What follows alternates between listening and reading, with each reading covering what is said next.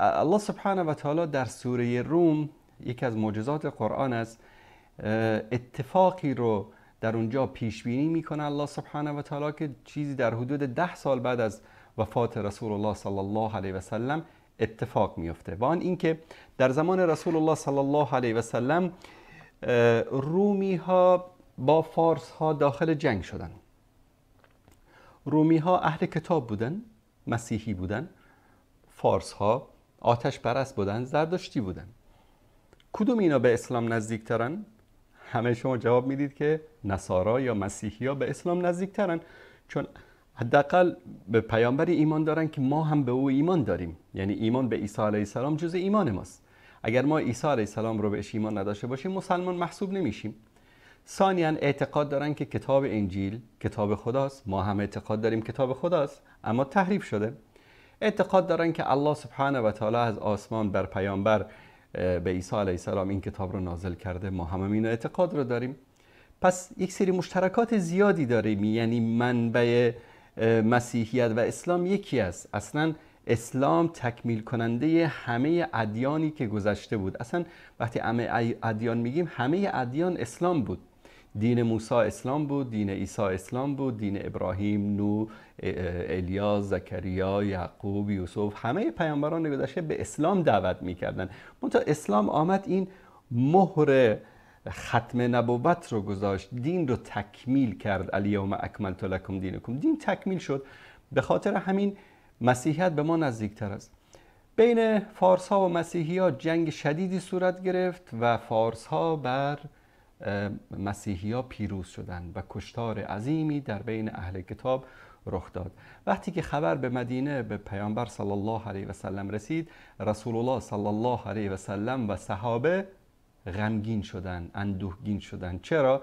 چطور آتش پرستان بت پرستان بر اهل کتاب که به مسلمانان نزدیکترن پیروز بشن؟ ببینید منهج رو ببینید. الان امروز عده جوان جاهل نادان بیعقل پیدا شده که از کشته شدن مسلمان خوشحال میشه از شکست مسلمان خوشحال میشه از نابودی مسلمان خوشحال میشه به اینکه این تاغوت است و نمی‌دونم فلان است و این است و اون است و در مقابل کفار اصلا هیچ صداش هم در نمیاد. بر صورت الله سبحانه و تعالی دوستان عزیز اگر نشون بدن در سوره روم این مطلب رو بیان می‌کنه. الف لام میم. غلبت الروم. الف لام میم رومی ها چی شدن؟ مغلوب شدن شکست خوردن.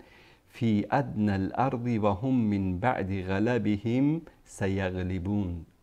اینها در یک سرزمین نزدیک نزدیکترین سرزمین به جزیره العرب که در مناطق اردن و شام امروزی بود در اینجا درگیر شدن و رومی ها شکست خوردن. اما در طی چند سال آینده دوباره غالب خواهند شد. چند سال بزع سنین وقتی در عربی ذکر میشه از سه الی ده هست همون بود که در چیزی در حدود ده سال بعد در زمان فکر کنم سیدنا عمر رضی الله تعالی عنه بود که رومی ها دوباره در یک جنگ شدیدی بر فارس ها پیروز شدند. ببینید قرآن کریم ده سال پیش اینو پیش بینی می‌کنه میگه الان که شکست خوردن اما طی چند سال آینده پیروز خواهند شد. جالبش اینجاست که الله سبحانه و تعالی چی میگه؟ میگه که لله الامر من قبل و من بعد. ار امری در دست الله است چه قبلش و چه بعدش. و یوم ایذ یفرح المؤمنون بنصر الله.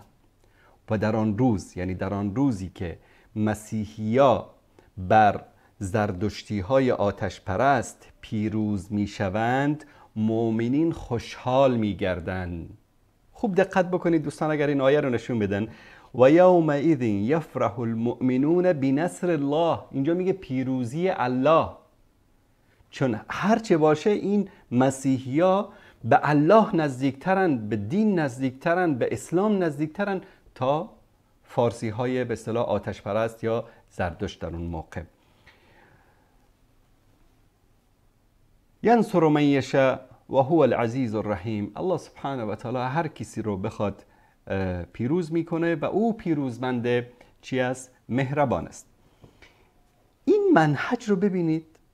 الان کسی نهید بگه الله والله این در زمان پیامبر بوده فلان. این بعد از وفات پیامبر رخ داده. آیه میاد چی میگه؟